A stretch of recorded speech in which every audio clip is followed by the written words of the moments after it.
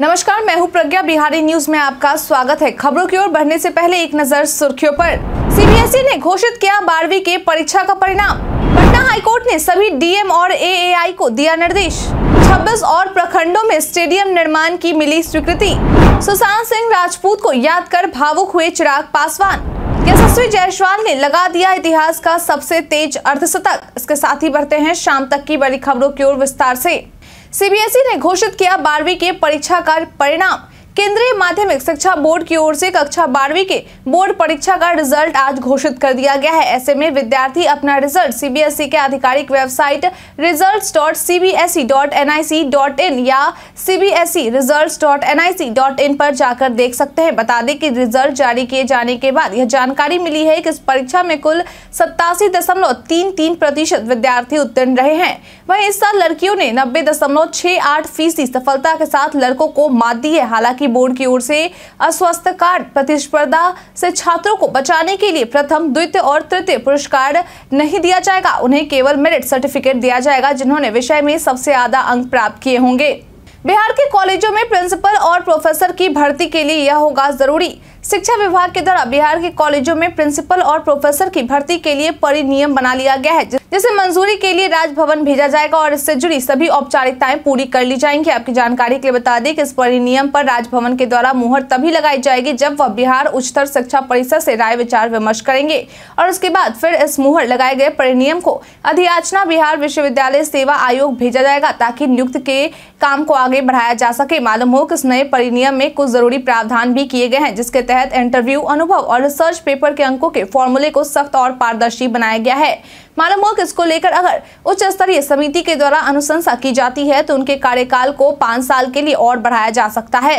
Patna high court ने सभी DM और एएआई को दिया निर्देश। बीते दिन पटना हाईकोर्ट के chief justice K V Vinod Chandran एवं जस्टिस मधुरेश प्रसाद की खंडपीठ के द्वारा निखिल सिंह सहित अन्य तीन जनहित याचिकाकर्ता की अर्जियों को निष्पादित करते हुए बिहार के सभी डीएम समेत केंद्र सरकार की एयरपोर्ट अथॉरिटी ऑफ़ इंडिया को निर्देश दिया गया है कि राज्य में जितने भी हवाई पट्टियाँ, पुरानी हवाई अड्डे और सिविल एनक्लेव हैं, उन सबके भूमि को अतिक्रमण मुक्त करवाया जाए और इसके साथ यह भी सुनिश्चित किया जाए कि आने वाले समय में भी उपयोग आने हेतु सुरक्षित और संरक्षित रहे। बता दें कि इस फैसले के दौरान कोर्ट के द्वारा यह स्पष्ट कर दिया गया है कि राज्य में हवाई अड्डा का निर्माण या विकास हो या न हो, लेकिन यह कार्य एक नीतिगत मामला है जिसका निर्णय केंद्र और राज्य सरकार को लेना है, न की हाईकोर्ट को। फ्यूल कॉस्ट पर उनचास पैसे प्रति यूनिट बिजली दर बढ़ाने की मांग नामंजूर होल्डिंग कंपनी के द्वारा fuel and power purchase cost adjustment शुल्क के नाम पर उनचास पैसे प्रति यूनिट बिजली दर बढ़ाने को लेकर दिए गए प्रस्ताव पर बिहार विद्युत विनियामक आयोग के अध्यक्ष सुशीर सिन्हा और सदस्य एस सी चौरसिया की बेंच के द्वारा सभी हितधारकों की सुनवाई के बाद यह निर्णय लिया गया है कि इस प्रस्ताव को नामंजूर किया जाता है। और साथ ही यह भी माना जाता है कि कंपनी के एफपीपीसीए शुल्क की गणना करने में चूक हो गई है। आपकी जानकारी के लिए बता दें कि आयोग के द्वारा यह कहा गया है कि नियमों के मुताबिक एफ़ तभी चार्ज किया जा सकता है, जब प्रति यूनिट राशि 10 पैसे प्रति यूनिट प्रति माह से अधिक हो। ऐसे में अगर यह नियम लागू किया जाता है तो यह उचित नहीं होगा। छब्बीस और प्रखंडों में स्टेडियम निर्माण की मिली स्वीकृति। बीते दिन गुरुवार को भवन निर्माण विभाग के सभागार में कला, संस्कृति एवं युवा विभाग की विभिन्न योजनाओं को लेकर समीक्षा बैठक की गई। बता दें कि बीते दिन हुए इस बैठक में राज्य के और 26 प्रखंडों में स्टेडियम निर्माण को स्वीकृति मिल चुकी है। आपकी जानकारी के लिए बता दें कि राज्य के सभी पाँच प्रखंडों में स्टेडियम के निर्माण की योजना बनाई गई है।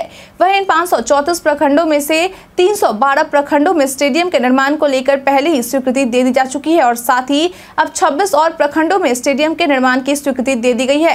यानी कि अब पूरे राज्य में तीन प्रखंडों में स्टेडियम के निर्माण को लेकर स्वीकृति दे दी गई है और बाकी बचे प्रखंडों में स्टेडियम निर्माण को लेकर स्वीकृति पाने के लिए प्रक्रिया चल रही है। मालूम हो कि बनाए जा रहे इन स्टेडियम में पीसीसी प्लेटफॉर्म, शौचालय, चेंजिंग रूम, पवेलियन भवन जैसे सभी तरह की सुविधाएँ मौजूद होंगी।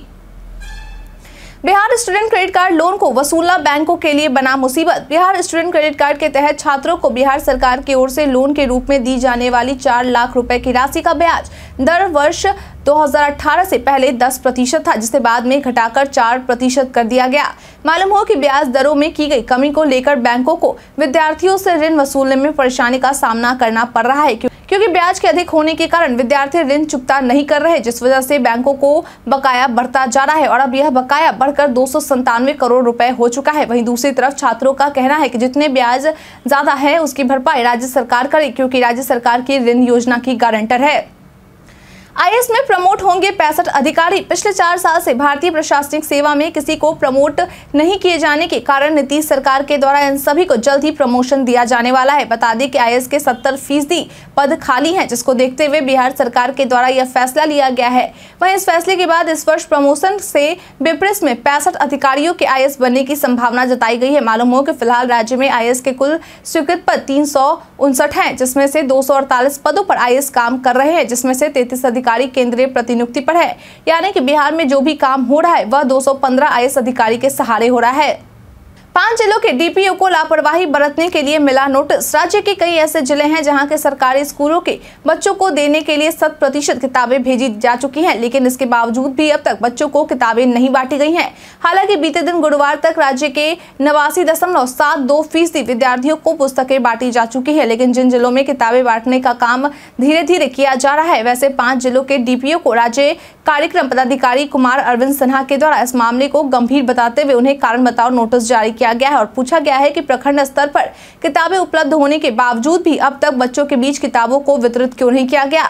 इसका जवाब राज्य कार्यालय को दिया जाए। आपकी जानकारी के लिए बता दें कि जिन पाँच जिलों के डीपीओ को कारण बताओ नोटिस जारी किया गया है, उनमें दरभंगा, भागलपुर, पूर्वी चंपारण, कैमूर और खगड़िया ज़िले के नाम शामिल हैं। चालीस साल बाद पटना से भागलपुर के बीच गंगा में चलेगा पैसेंजर जहाज़। एक बार फिर से भागलपुर से पटना के बीच पैसेंजर जहाज़ चलाने की तैयारी की जा रही। बता दें कि शुरुआत 40 साल बाद की जा रही। मालूम हो कि इसके लिए भारतीय अंतर्देशीय जलमार्ग प्राधिकरण से एनओसी मांगा गया है। अगर एनओसी मिल जाता है तो जहाज़ की शुरुआत जून के अंतिम सप्ताह में हो जाएगी।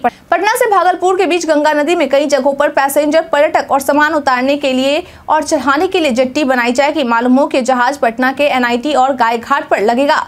लंबी दूरी सफ़र तय करने के दौरान पर्यटकों को दोनों घाटों पर क्रूज पर रोका जाएगा। बता दें कि पर्यटन निगम के एमडी नंदकिशोर के द्वारा दी गई जानकारी के अनुसार राज्य सरकार की तरफ़ से पर्यटकों की सुविधा के लिए दो रोरो वैसेज जहाज़ लाने की अनुमति मिल चुकी है और फ़िलहाल भारतीय अंतर्देशीय जलमार्ग प्राधिकरण से जहाज़ लाने की बात चल रही है। उन्होंने कहा कि इस जहाज़ को जल्द ही पटना ले आया जाएगा। इन शहरों में भेजी गई मुजफ्फरपुर की शाही लीची की करीब 300 पेटी। बिहार के मुजफ्फरपुर की शाही लीची न केवल बिहार में, बल्कि देश विदेश में भी खूब प्रसिद्ध है। बता दें कि ऐसी जानकारी मिली है कि अब इस शाही लीची का स्वाद देश के दूसरे राज्यों के लोगों को भी चखने का मौका मिलेगा। दरअसल बीते दिन गुरुवार को मुजफ्फरपुर जंक्शन से वैशाली सुपरफास्ट और पवन एक्सप्रेस से लीची की खेप को दिल्ली और मुंबई भेजा गया है। मालूम हो कि करीब तीन से अधिक शाही लीची की पेटी को दिल्ली और मुंबई भेजा गया है। बता दें कि ऐसा बताया जा रहा है कि जितनी भी लीची की खेप मुंबई और दिल्ली के लिए भेजी गई है, वह सभी एस से भेजी जा रही है, लेकिन लीची की खेप जंक्शन दिन प्रतिदिन पहुँच रही है। इसी को देखते हुए ऐसा निर्णय लिया गया है कि 20 मई से मुंबई जाने वाले पवन एक्सप्रेस में वीपी जुड़ा जाएगा, जिसकी क्षमता करीब 24 टन होगी। आपकी जानकारी के लिए बता दें कि आने वाले समय में देश के अन्य राज्यों में भी लीची की खेप भेजे जाने की तैयारी की जा रही है। इस कलाकार ने धागे से तैयार की बागेश्वर बाबा की तस्वीर कल यानी कि 13 मई को बागेश्वर धाम के बाबा धीरेन्द्र कृष्ण शास्त्री अपने हनुमंत पाठ के कार्यक्रम को लेकर बिहार की राजधानी पटना के सटे नौबतपुर आ रहे हैं, जहाँ वह 13 मई से लेकर 17 मई तक हनुमंत पाठ का काम करेंगे। लेकिन आपको बता दें कि उनके आगमन से पहले पटना के एक कलाकार के द्वारा धागे से उनकी आठ फुट चौड़ी व आठ फुट लंबी तस्वीर तैयार कर ली गई है। आपकी जानकारी के लिए बता दें कि जिस कलाकार के द्वारा यह तस्वीर तैयार की गई है, वह Patna art and craft college के मूर्तिकला विभाग के फाइनल ईयर के छात्र है, जिनका नाम रमन है। मालूम हो तस्वीर को लेकर रमन का कहना है कि उन्होंने यह तस्वीर अपने टीम के साथ मिलकर पूरे छह दिनों में तैयार की है। सुशांत सिंह राजपूत को याद कर भावुक हुए चिराग पासवान, लोक जनशक्ति पार्टी रामविलास के राष्ट्रीय अध्यक्ष चिराग पासवान के द्वारा मुख्यमंत्री नीतीश कुमार के महाराष्ट्र दौरे को लेकर उन पर तंज कसते हुए बॉलीवुड एक्टर और बिहार के ला सुशांत सिंह राजपूत को याद कर कहा गया है कि अब तक बॉलीवुड के मशहूर अभिनेता सुशांत सिंह राजपूत को न्याय क्यों नहीं मिला? जिस दौरान सुशांत सिंह राजपूत के साथ वह घटना घटित हुई थी, उस दौरान महाराष्ट्र के मुख्यमंत्री उद्धव ठाकरे ही थे। उन्होंने कहा कि नीतीश कुमार अपने स्वार्थ के लिए बिहारियों का अपमान भूल सकते हैं तो आने वाले चुनावों में बिहारी भी उन्हें भूलने से परहेज नहीं करेंगे। चिराग पासवान ने कहा कि मुख्यमंत्री नीतीश कुमार वह व्यक्ति हैं, जिन्होंने सुशांत सिंह राजपूत जैसे सफल अभिनेता के परिजनों को न्याय से वंचित रखने में अपनी महत्वपूर्ण भूमिका निभाई है। जिन लोगों ने बिहारियों का अपमान किया और गोबर को कीड़ा कहा, आज उसी से मुख्यमंत्री नीतीश कुमार भेंट कर रहे हैं और विपक्षी एकता का बहाना करके उन्हीं लोगों के शरण में जा रहे हैं जो बिहारियों को पसंद नहीं करते। जदयू ने महासचिवों और सचिवों को सौंपी नई ज़िम्मेदारी। 2024 में होने वाले लोकसभा और 2025 में होने वाले बिहार विधानसभा चुनाव को लेकर जदयू की ओर से तैयारियाँ शुरू कर दी गई। है बता दें कि बीते दिन प्रदेश अध्यक्ष उमेश सिंह कुशवाहा के द्वारा सभी पदाधिकारियों की सूची जारी की गई है, जिससे यह जानकारी निकलकर सामने आई है की पार्टी के द्वारा चुनाव को लेकर एक महासचिवों और एक सौ बीस सचिवों को नई ज़िम्मेदारी सौंपी गई है, जिसके तहत इन सभी को प्रदेश मुख्यालय, प्रमंडल और विधानसभा क्षेत्रों की ज़िम्मेदारी सौंपी गई है। मालूम हो की प्रदेश प्रदेश अध्यक्ष के द्वारा सूची जारी कर सभी को ज़िम्मेदारी सौंपने के बाद कहा गया है कि वैसे लोग जिन्हें ज़िम्मेदारी नहीं मिली है, वे मुख्यालय से संपर्क कर सकते हैं, क्योंकि ऐसा हो सकता है कि उन सभी को पार्टी के विशेष अभियान की ज़िम्मेदारी मिल जाए। यशस्वी जायसवाल ने लगा दिया इतिहास का सबसे तेज अर्धशतक। बीते दिन आईपीएल 2023 के सोलवे सीज़न में राजस्थान रॉयल्स और कोलकाता नाइट राइडर्स के बीच मैच खेला गया। इस दौरान कोलकाता नाइट राइडर्स के विरुद्ध यशस्वी जायसवाल ने मात्र तेरह गेंदों में अपना अर्धशतक पूरा किया। बाएँ हाथ के युवा बल्लेबाज यशस्वी जायसवाल दूसरी पारी में बल्लेबाजी करने उतरे तो उन्होंने पहले ही ओवर में अपनी मनसा साफ़ कर दी। कोलकाता नाइट राइडर्स के कप्तान नीतीश राणा के पहले ओवर में जायसवाल ने छब्बीस रन बढ़ोड़े। इस ओवर में इस बल्लेबाज ने दो छक्के और तीन चौके लगाए। यह आईपीएल इतिहास का दूसरा सबसे महँगा पहला ओवर था।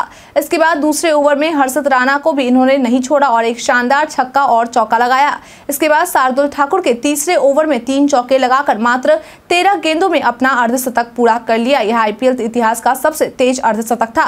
जयसवाल ने 45 गेंदों में नाबाद अंठानवे रन बनाए और मात्र दो रन से अपने शतक से चूक गए।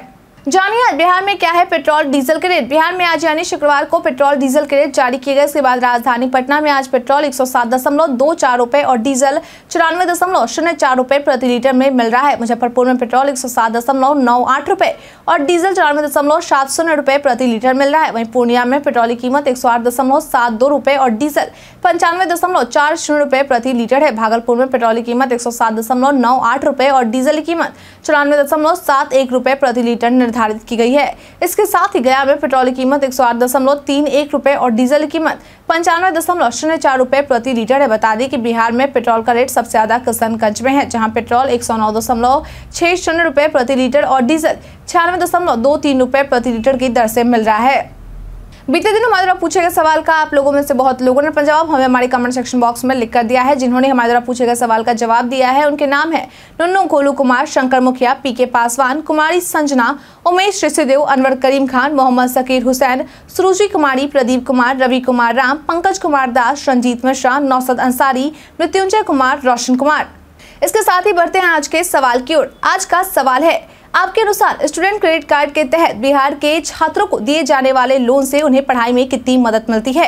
अपना जवाब हमें हमारे कमेंट सेक्शन में लिखकर ज़रूर बताएँ। आज के लिए इतना ही। बिहार के तमाम खबरों के साथ बने रहने के लिए देखते रहे बिहारी न्यूज़ और साथ ही अगर आप यूट्यूब से देख रहे हैं, चैनल को सब्सक्राइब करना और अगर आप फेसबुक से देख रहे हैं तो पेज को फॉलो करना ना भूले। धन्यवाद।